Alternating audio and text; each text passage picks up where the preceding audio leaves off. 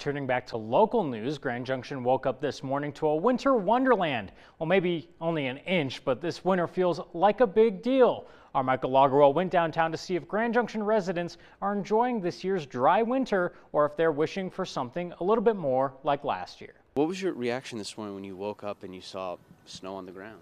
Um, well, I just had woken up and looked out the window and there was so much snow, um, and we haven't really had any, and so it was a very interesting surprise to see snow this morning. I've wanted to, I want to see a little bit more snow, you know, but um, I'm thankful for what we have today. I mean, it's been nice. I was surprised I hadn't watched the weather or looked at the weather, and I was like, whoa, snow. Yeah. I was very happy. Others said they couldn't wait to hit the slopes, sure to be filled with fresh powder.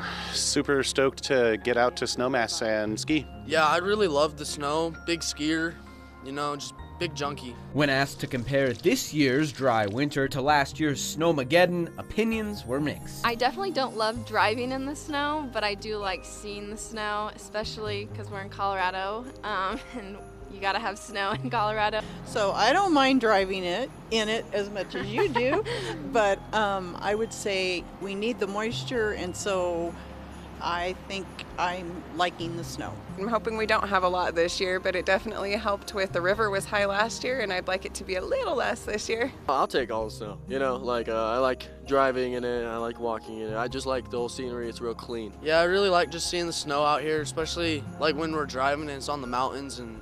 Well, we might not have had that much snow here in Grand Junction yet, but we all know Colorado winters can change in a flash.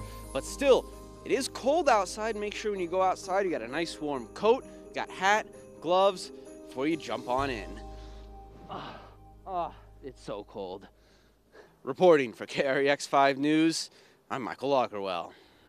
Michael, why didn't you have me come out with you, man? I would have loved to jump in that snow with you. Anyways, Powderhorn reported three inches of snow late last night and early this morning. When